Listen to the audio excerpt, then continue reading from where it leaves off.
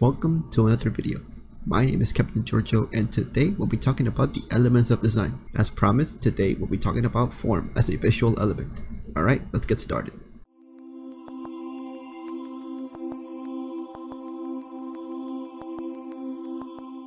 So again, just to reiterate to those who randomly found this video on the internet, what I'm currently doing is talking about the elements of design and how they can be implemented into the photography medium.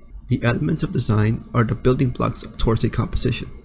This composition which helps express an idea and helps the viewer understand your artistic expression. So let's talk about form, because unlike shape, form actually has depth. Remember that photographs are flat base, they are not 3D objects. However, the objects that we do capture in our photographs, with the guidance of highlights, midtones, and shadows, we're able to create form Sometimes form can be recognizable, like we can identify what is it that we're being presented with. But when form can be experimental is when we're presented something that we really can't identify, yet it looks real because it was created on a foundation of what we see. Like think about Apple when they release a new iPhone product, right? We're presented with images and renders of the new product that's soon to be released and as a result it makes us imagine just how it would feel like once that product gets into our hand. But the, the thing is that we already do this every day when we react to objects around us. It's our foundation. Whenever we're introduced to new objects or items we may not realize it but our mind is already thinking about its form how this object can be handled and it's really thinking about how our natural senses may react to it. So let's say for example if I show you this object, right? If I show you this object without context or without any information of what this does, can you tell me its weight, its height, its size, its feeling? It's a, is it sharp? Is it smooth? Maybe not, but thanks to its form, we can make a prediction. In photography, it's just like that. The information is already provided to us all it just needs is someone to interpret it. It's in our instinct to react to the world around us. Our brains are constantly being stimulated. So when form becomes anonymous or mysterious, uh, something unrecognizable, that is when we realize our capabilities of interpretation. Just like shape, there's two kinds of form, organic form and geometric form. So what is geometric form? Usually is the type that is man-made, whether if it's through architecture or fine art for example, it can give off the impression of order, control, and cleanliness, whereas organic forms, it's a type of form that's provided to us by nature, usually the kind of form that is complex in structure and can give off the impression of something unpredictable or irregular. It's not really, perhaps even symmetrical.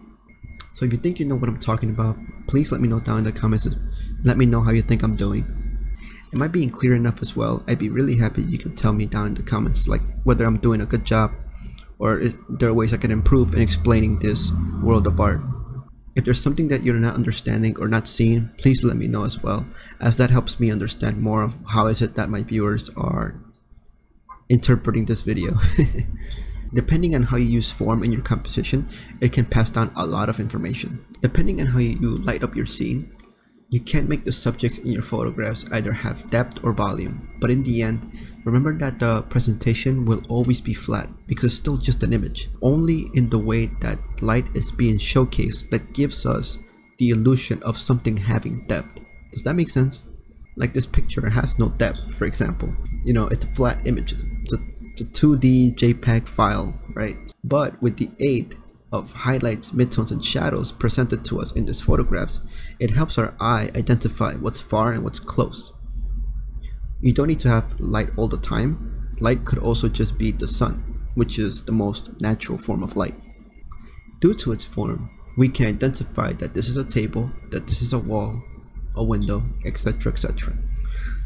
Here's an example of a picture that creates form from something that's not recognizable, but yet we are curious in the feeling of what it could feel like to touch, smell, hear, or even taste this new form.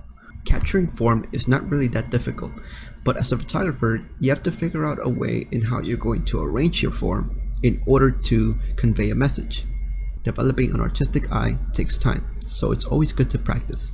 One way to get better is to start seeing how others have presented form in their work. Which brings me to my next point. I have a collage here of photographers that I believe express the power of form very well. If you like what you see, please consider following them on their social media, which is why I left their username attached. As we look over these pictures, take a look at the way they were able to use form to express an idea. Alright, let's jump into it. I'll see you all in a bit.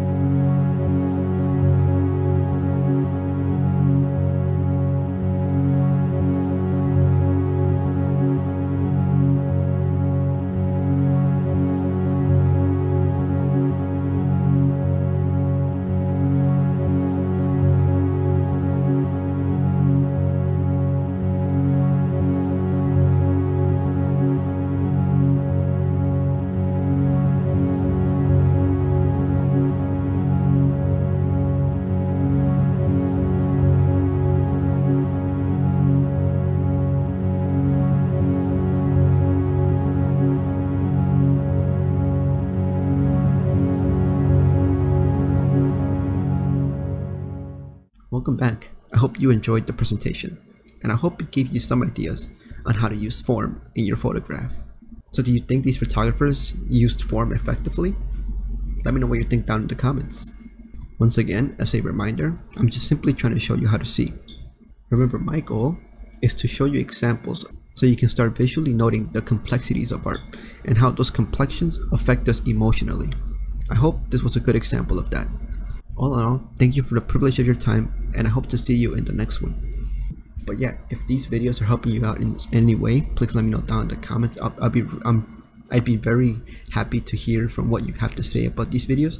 Are you understanding what I'm what is it that I'm trying to say? Are you visually understanding the examples that I'm presenting you? You know, all these things. I just want to hear from you. Just wanted to see if whatever it is that I'm saying is all good. And yeah, let's keep going let's keep let's start uh let's start seeing the world differently. The next video that i'm working on is kind of is gonna be um a little bit off topic from what i normally talk about. So please expect something that's like completely out of my niche. I'm trying to do like a product review. But we'll get back to talking about art real soon again so don't worry about it. We'll continue on with the elements of design. All right well that's it for now. Hope you stay safe Hope you enjoy your day. I hope you enjoy. I hope you enjoy what you're doing. And as always, stay creative.